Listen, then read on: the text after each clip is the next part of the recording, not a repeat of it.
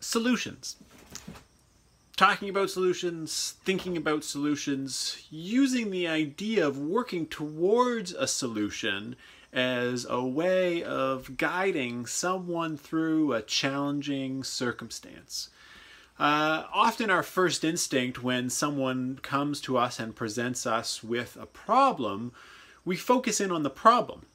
And this often makes sense for fixing a bike or a car. You have to really understand the problem, you have to diagnose it, find the part that's malfunctioning, and repair it. But humans, we don't really work the same way. Um, our behavior is a little bit more complex.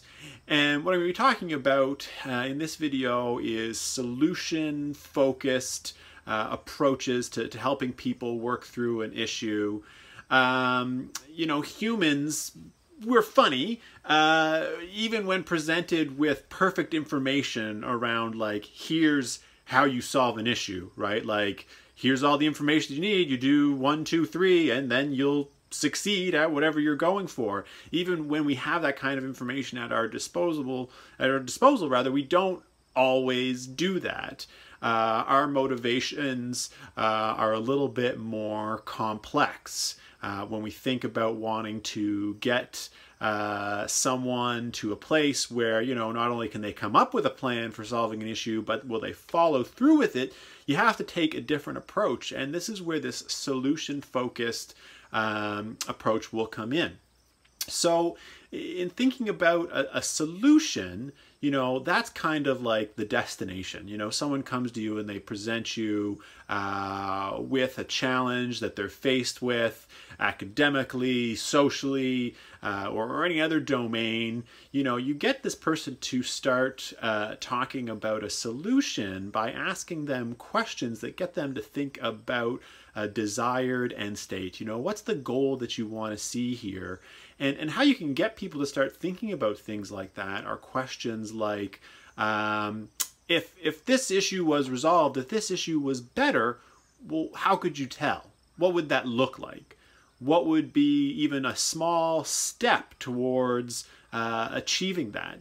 because often you know, that's a good question right there because oftentimes when people especially when they're in a, a, bad spot a tight spot they maybe can't always think about well how do i want this to be better but when you can ask them a question it's like well, what's the tiniest possible thing that you could imagine that would be letting you know that this thing is getting better that's like you know the thin end of the wedge that you can get in there that's going to help you open up that more to get them thinking okay about well how can i make this uh, better. So you can ask questions about like that. How would this be better? And then that's the destination. And then you have to be also thinking about how you get there.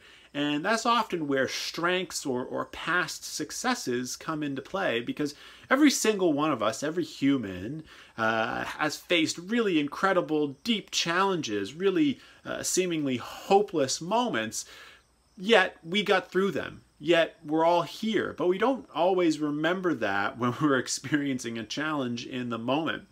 So questions you ask, you ask the solution focused questions. Uh, you know, how could this be better if this was resolved? What would that look like for you? And maybe you start to get some answers right there. But then you can start to ask questions about like, you know, how have you managed in the past to uh, be able to solve something like this? How are you able to make that better? What strengths do you have? What skills or resources or resilience do you have that's going to be able to help you through this situation like it's helped you through in past situations?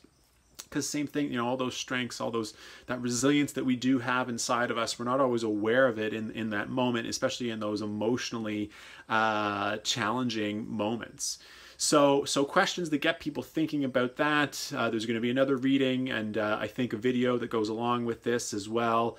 Um, that's going to really get you thinking about using uh, questions that elicit uh, solutions, questions that elicit strengths and resilience uh, from people to really put them in a positive frame of mind. And a while ago, earlier in, the, in, this video, I talked about you know motivation ensuring that someone follows through on something.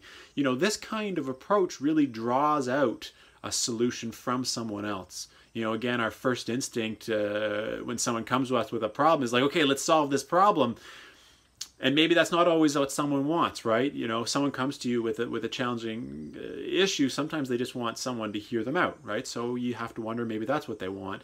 But if they do want to work through this, they do want to achieve some sort of resolution. They want to uh, they want to take care of something. You know, asking them questions like this and drawing out from them their own ideas, their own strengths is going to make them so much more likely to follow through with that plan, right? Because it came it came from them.